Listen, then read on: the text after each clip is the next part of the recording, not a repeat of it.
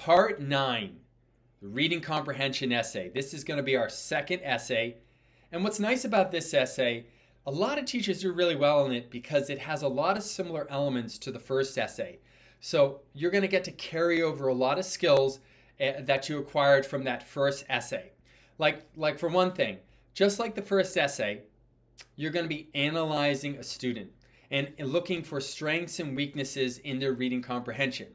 So the first essay focused on the student's oral reading fluency, and we looked at strengths and areas of need in, in, in their fluency. Now we're going to do something similar. We're going to analyze the student's comprehension, reading comprehension, and we're going to look to see where the student has a strength in comprehension and where there are gaps in comprehension. Just like the first essay, we had an outline, just like this, where you had to identify, you did that intro paragraph, strength paragraph, area need paragraph, an instructional strategy, and a mini lesson. This is going to be almost, this is going to be the same. You're going to have that intro paragraph, strength paragraph, instruction, uh, um, um, area need paragraph, instructional needs paragraph, and mini lesson. So those elements are almost mirror, mirror images, okay? And if you had a different essay where you had to describe two areas of need, like the reading specialist, you might have to do that for the same one here. But these are going to be almost mirror images in terms of the structure. So this essay is going to use that same structure and that should really help you in the writing because you'll get, have a second chance of using this outline.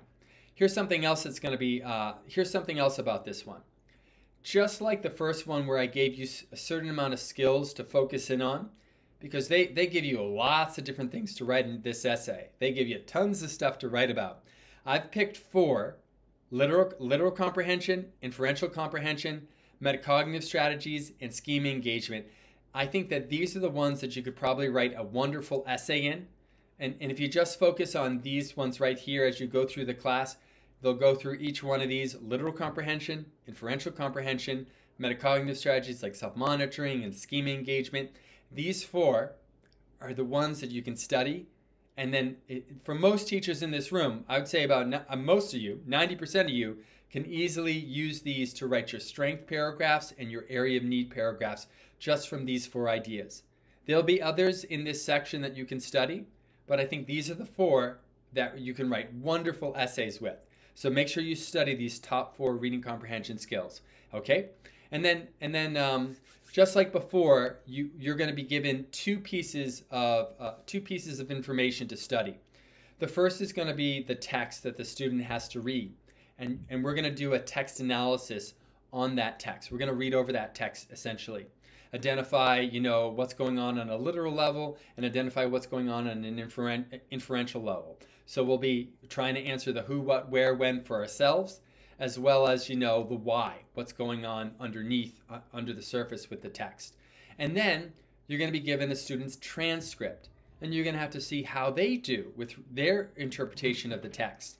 And again, just like we, uh, we're going to be looking at this transcript, citing strengths and citing weaknesses. And my suggestion to keep this really simple, keep it super simple, is when you're citing strengths and weaknesses, start with these four. All right, you'll be able to write a beautiful essay and spot these in the student's uh, um, reading summary and in reading in reading comprehension summary. But stick with these four as a starter, especially if you're a new student.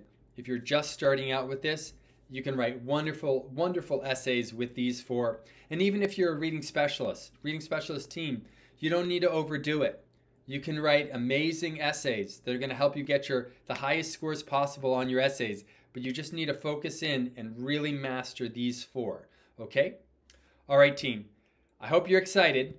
We are going to start now. I want you to begin with the first section, and I'll see you soon. All right, see you soon, team. Let's go.